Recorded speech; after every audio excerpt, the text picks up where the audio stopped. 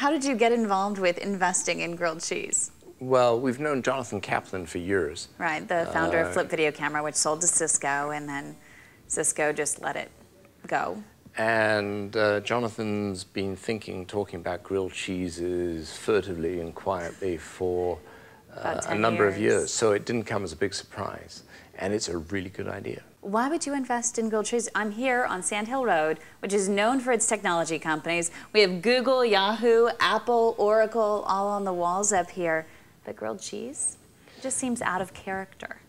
It does, but if we did everything in character, life would be very boring. And what we're most interested in is investing in companies that are very small and very young today and can be large tomorrow, and the melt fits that category.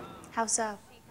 America doesn't have a friendly, warm, comforting place to go for grilled cheese sandwiches. Grilled cheeses are an American staple, and people over the next decade will come to love the melt. You know, you do have some small mom and pop shops in different cities uh, across the country that offer grilled cheese, specialized grilled cheese sandwiches. Right. There were lots of mom and pop shops that offered cups of coffee before Starbucks Right. came along, And they still do.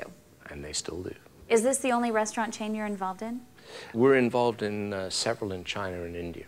And what's the ROI as compared to a regular technology company? Why is it worth your while to get involved in food? Restaurant companies, if they're done sensibly and they're done right, and uh, they're at the right price point and appeal to the right demographic, uh, can be wonderful companies. They can be around for an extremely long time. Look at the household names that we know in the uh, restaurant business, in particular the fast food business. But many restaurant companies have been around for a lot longer than many technology companies. Is this a trend that we're going to see more of in terms of Sequoia? Are you going to look at more food operations here in the U.S. in this highly um, crowded market of fast food? long ago, 25 years ago, when we became um, investors in Cisco Systems, everybody thought that the networking market segment was very crowded and that there wasn't room for Right. a, a new entry. Or 12, 13 years ago, everybody thought that search on the internet was done,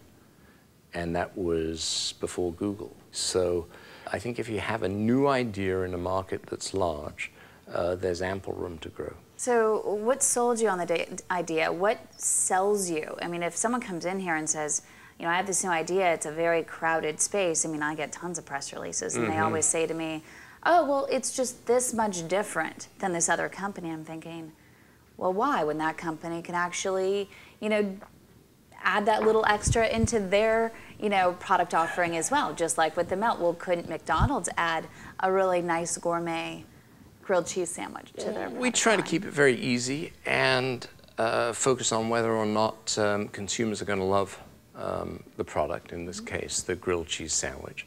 But there are lots of virtues associated with the fact that you're one young company concentrating on doing just one thing very, very well, and you don't have a large existing business to have to worry about. At what point do they say, okay, well, we've done very well with this one product.